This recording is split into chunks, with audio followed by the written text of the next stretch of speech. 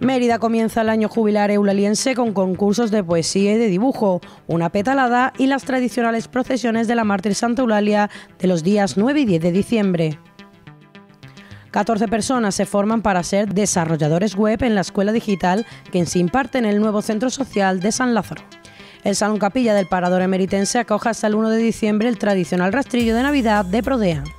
Luces al Corazón inicia este viernes el plazo de inscripción con el objetivo de llenar balcones y fachadas de Mérida de decoración e iluminación navideña. Este jueves amanecerá cubierto y con probabilidad de precipitaciones durante el día. Los valores térmicos similares a la jornada anterior no superarán los 21 grados en el Valle del Guadiana.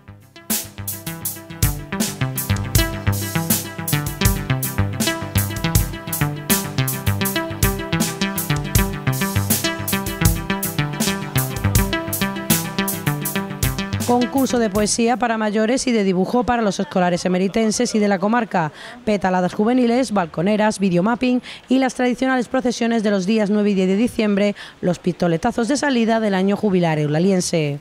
El siguiente acto que vamos a tener va a ser el pregón a Santa Eulalia, que este año será a cargo de don Antonio Bellida Almeida.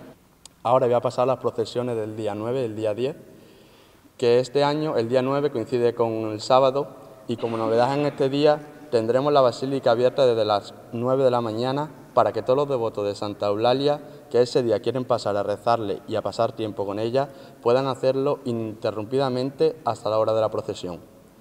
El recorrido del día 9 será Avenida de Extremadura, calle Camilo José Cela, calle Cervantes, Puerta de la Villa, calle Berzocana, Templo de Diana, calle Romero Leal, Plaza del Rastro y Plaza de España.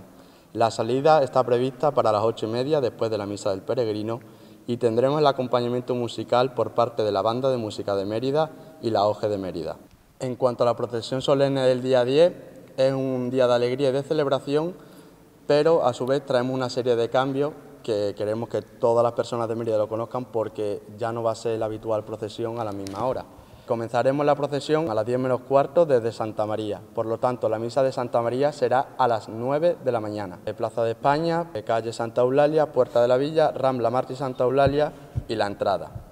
El acompañamiento musical será por parte de la banda de la Auge de Mérida, la banda de Nuestra Señora de la Paz de Mérida y la banda de música de Mérida. Y también como novedad este año, la basílica permanecerá cerrada hasta que Santa Eulalia llegue en el momento a la puerta. Se abrirá y una vez que Santa Eulalia entre se volverá a cerrar. No podrá haber nadie dentro, ya que este año a las doce y media daremos paso a la apertura del año jubilar y no puede haber nadie dentro de la iglesia. Es muy importante este dato para que la gente no se ponga nerviosa, no se altere no puede haber nadie dentro de la iglesia, nadie va a estar dentro. La Asociación Folclórica y Cultural Nuestra Señora del Antiguo invita a todos los asistentes a la procesión oficial del día 10 a ir ataviados con el traje tradicional y a llevar una flor al hornito para engrandecer así el año jubilar. Estaremos un año más ataviados con el traje típico regional. Invitamos a todo el pueblo de Mérida que nos acompañe con ese traje y con una flor para traerla hasta la, hasta la basílica.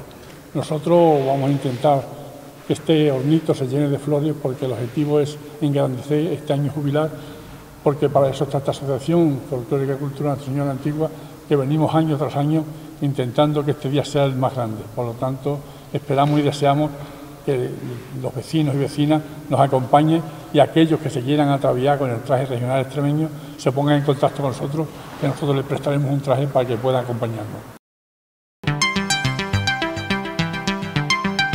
14 personas han concluido el programa de desarrolladores web que comenzó hace un año en el nuevo Centro Social de San Lázaro, dentro del programa Escuela Digital.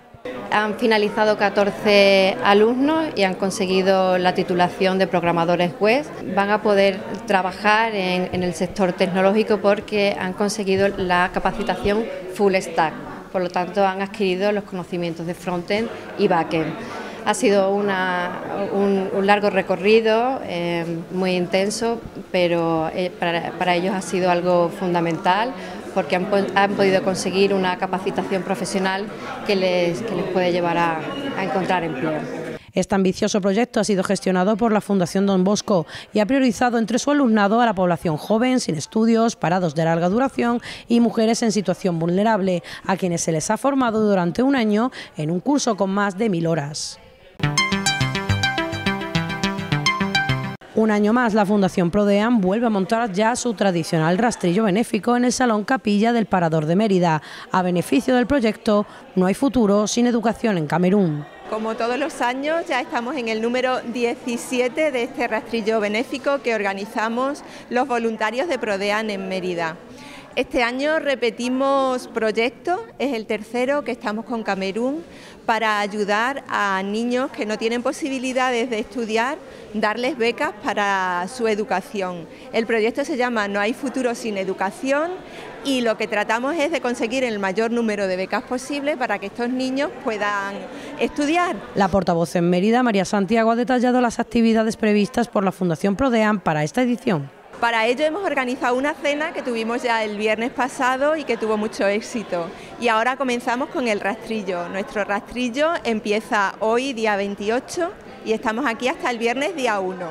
En horario de mañana y tarde, de 11 a 2 y de 5 a 8. Eh, sobre todo tenemos artesanos emeritenses eh, productos extremeños, artesanía elaborada a mano con productos ecológicos, la tómbola, donde siempre toca y que está plagada de juguetes. Todos los niños de Mérida tenéis que venir a ver la tómbola, porque así ayudáis a niños de Camerún. Fundación Prodean es una entidad sin ánimo de lucro que promueve el voluntariado y la cooperación al desarrollo. La campaña Luces al Corazón inicia este viernes 1 de diciembre el plazo de inscripción con el objetivo de llenar balcones y fachadas de Mérida de decoración e iluminación navideña. Se puede participar en las asociaciones vecinales y en el correo electrónico faavmerida.gmail.com. Esto es una iniciativa que nació en el confinamiento y que pretende unir también a las asociaciones de vecinos y vecinas de, de las ciudades de la Federación en estas fechas tan señaladas. El plazo de inscripción será desde el viernes 1 de diciembre, que es cuando se encenderá el alumbrado navideño de la ciudad, y hasta el 15 de diciembre. A partir del 15 de diciembre hasta el día 18 pasará a visitar el jurado, que estará compuesto por personas de la Federación y algún representante del Ayuntamiento. Por su parte, la gala de entrega de distinciones se celebrará el martes 19 de diciembre en el Centro Cultural Alcazaba. La gala será en el Centro Cultural Alcazaba, como todos los años, y consistirá, aparte de esa entrega de distinciones, en un concierto de la banda de música de Pilar Vizcaíno y eh, la cantante Claudia Vela. Dos categorías, categoría de balcones y eh, categoría de fachadas. Y también habrá un premio, una distinción especial del jurado que como todos los años eh, está patrocinada por el grupo Paradores. La novedad de este año de, los, de las distinciones es que todas las familias que obtengan esa distinción, es decir, primer, segundo y tercer premio de cada, cada categoría, aparte de diferentes obsequios de las diferentes casas comerciales, se va a llevar gracias a, al Templo de los Arroces, que se ha unido eh, a última hora con nosotros, una paella para todas las familias. Es totalmente gratuita y pues en principio eso que será el 19 de diciembre a las 7 y media de la tarde en el Cultural Alcazaba. Si piensas que tal vez deberías revisar tu audición, ven a Sol Extreme Óptica y Audio Mario Balanzategui. Aural, conéctate a tu vida. La Agencia Estatal de Meteorología anuncia para este jueves cielo cubierto con lluvia a lo largo de la jornada. Las temperaturas con valores similares a este miércoles, con 12 grados de mínima y 21 de máxima en Mérida y una horquilla de 13 y 19 grados en Almendralejo.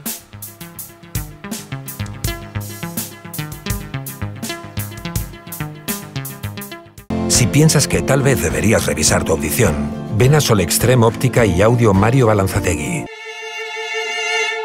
Aural, conéctate a tu vida.